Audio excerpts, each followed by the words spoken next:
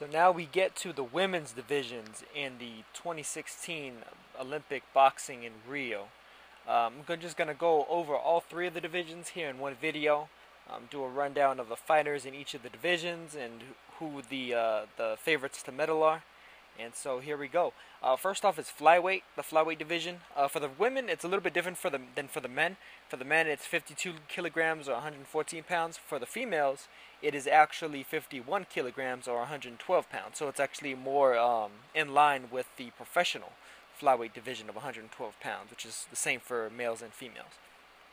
And we have uh, competing in this division for the females, we have the returning champion, the returning gold medalist from 2012, uh, Nicola Adams of Great Britain. We have Sarah Urma, Uramone of France. We have Jaina uh, Shekerberkova of uh, Kazakhstan. We have Pam Wilai Laopayam of Thailand. Zora Ezzakrouri of Morocco. Mandy Bujold of Canada. Ingrid Valencia of Colombia. Ren Cancan of China. Yorgoroy uh, Mirzeva of Uzbekistan. Stan Stanimira Petrova of Bulgaria, Tetiana Kob of Ukraine, and Judith Mbougnade of Central African Republic. And uh, looking like the favorites to medal, of course, is Nicola Adams, who won the gold medal in the in the 2012 Olympics. Um, she's competed all the way up as high as 125 pounds. So I mean, squeezing down to 112 may be a little bit difficult for her, but um, she definitely makes use of uh, an overall strength advantage, um, if not a size advantage. You know, she's 5'5". Um, I'm not sure exactly if she's necessarily going to have a height advantage over um, her fellow athletes. Uh, there's a couple that are about her height. But um, just overall, uh, solid boxer. You know, she's won gold before. She's been she's been there before. She won, of course, uh, back uh, when London was hosting the Olympics in the home country and everything. So she's looking to bring one home to the UK as well. Here. Uh, Mandy Bujold of Canada, who has won a gold in the 2011, uh, or the 2011, excuse me, Pan American Games at flyweight, and a gold in the 2015 Pan American Games at flyweight, as well as a bronze in the 2014 Commonwealth Games in the women's flyweight division. Uh, she's looking to go in there and uh, try and upset the apple cart.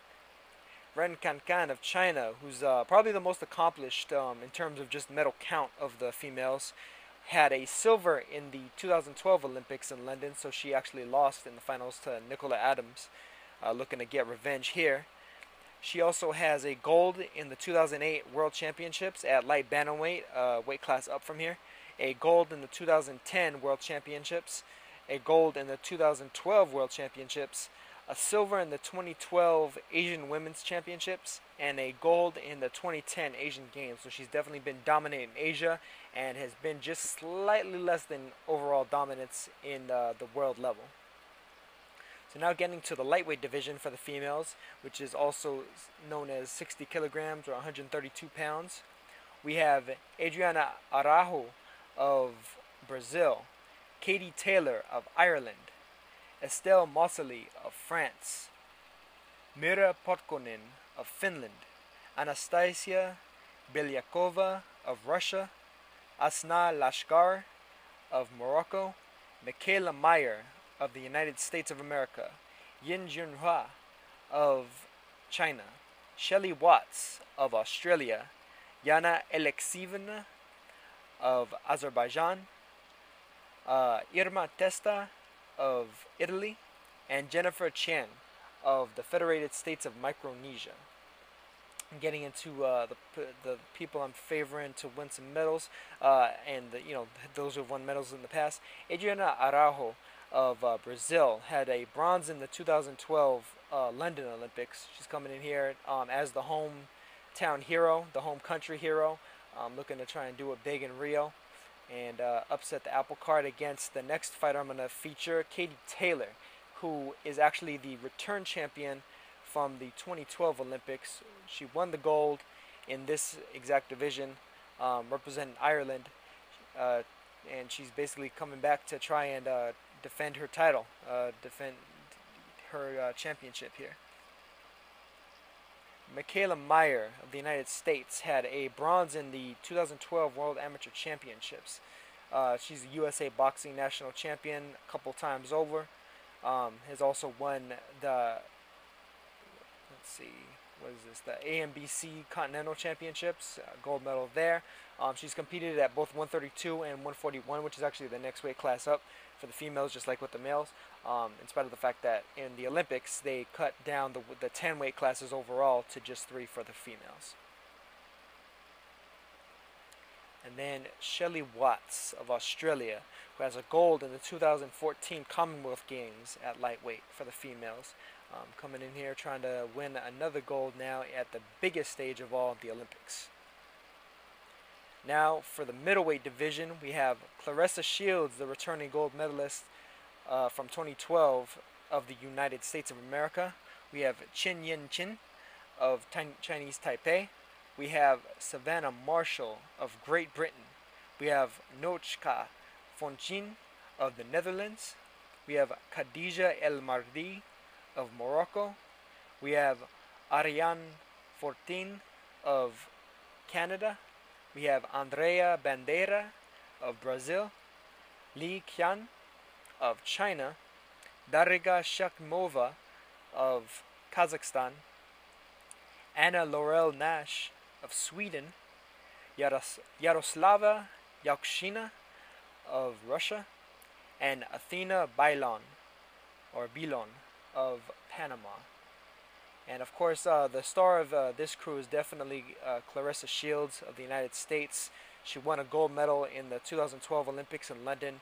Uh, she has a gold medal as well in the 2014 World Championships and a gold medal in this year, the 2016 World Championships at middleweight. And she also has a gold medal in the 2015 Pan American Games at the next weight class up, actually, at light heavyweight at 178 pounds. So um, she's a female that is definitely uh, strong for this division.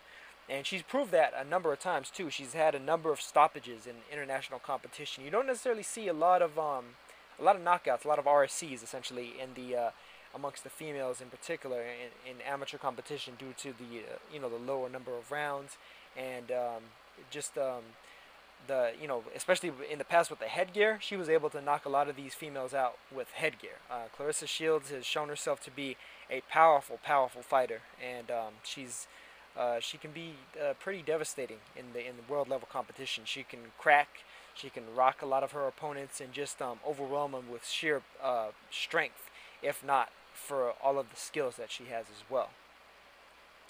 We also have uh, of course uh, savannah marshall of Great Britain who has actually defeated Claressa Shields before. She's the one female that's ever defeated Claressa Shields. Um,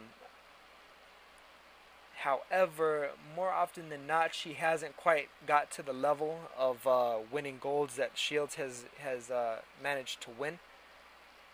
But she has a number of medals of her own. She has a bronze medal in this year, the 2016 World Championships, to go along with a gold medal in the 2014 Commonwealth Games, a silver medal in the 2010 World Championships at 69 kilograms, and a gold medal in the 2012 World Championships at 75 kilograms.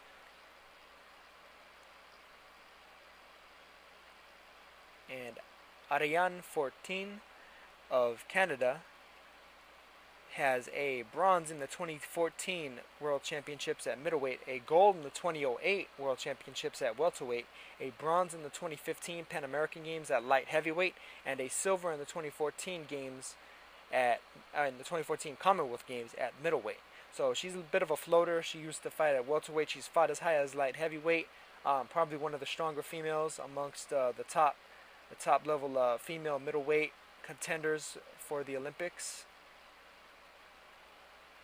and Anna Laurell Nash of Sweden, who um, is uh, pretty much the veteran of this group, a 36 year old who has a number of medals. I'll give you the rundown real quick. She has a silver medal in the 2001 European Championships, a bronze medal in the 2003 European Championships, gold in the 2004, 2005, and 2007 European Championships, silver in the 2015 European Games, And amongst her World Amateur Boxing Championship titles, she has a gold in the 2001 Amateur Boxing Championships, a gold in the 2005 Amateur Boxing Championships, a silver in the 2008 Amateur Boxing Championships, and a bronze in the 2012 Amateur Boxing Championships. So it seems, it seems like um, she used to be a very dominant fighter amongst the amateur females, um, has somewhat fallen uh, maybe into the second tier level, but you never know, especially with uh, crafty veterans. Sometimes they can take advantage of uh, the overall lack of um, experience that some of the younger fighters have and are able to just outskill them or even uh, maybe trip them up early on and uh, make it so that they're not able to catch up quickly enough in order to actually take uh, the last couple of rounds, which is what's going to be needed in these Olympic Games with the three rounders. So that is it for the females, and that is basically it for my uh, Olympic boxing preview. Uh, that's pretty much it for this one, and um, I'm really anxious to, to see all these fighters uh, compete. Um, it's a, it's a good look at some of the potential future pros. Um, to me, this is, I, I, mentioned it in one of the comments to my videos, this is almost like the way the bowl games are to uh, the NFL or the way the March Madness is to the NBA. Um, a lot of times you'll get a chance to see some of the potential future bright stars of boxing. You know, you look at a number of the current stars or maybe the past stars of uh, the past uh, several decades, and you'll see a lot of uh, Olympic uh, participants, whether or not they even medaled. Um, I mean, even just recently, of course, you know, you have likes of Andre Ward, uh, Felix Diaz, Deontay Wilder. Um, I know Abner Mares competed in the Olympics. Vasyl Lomachenko, of course. Guillermo Rigondeaux, of course. Oscar Valdez competed in the Olympics. Alfredo Angulo competed in the Olympics. Um, just a, a number of, of fighters uh, that have uh, either achieved world championship level status, have been uh, bright prospects on the rise, even if they didn't necessarily meet uh, their all of their promise of being becoming a world champion, or um, just um, some of the all-time greats, of course, even. And uh, it'll be really interesting to see. Um, you know, from the, being from the United States, uh, it'll be fun to see if um, the Americans manage to start uh, racking up a couple of medals again. Uh, it's been largely absent, especially from the male side of things. You know, for the the females have been doing it big, but uh, the males definitely need to step up and uh, get start getting some medals again, since there hasn't been one since the bronze medal uh, from Deontay Wilder in 2008, and there's there hasn't been a gold since Andre Ward's in 2004. So that's that's definitely needed. Um, and should any of these guys manage to get one, that'll be a big boon to their potential pro careers, big time. Um, but that is pretty much gonna do it for my Olympic boxing preview. I'm going to try and do some recaps as the Olympics uh, take place.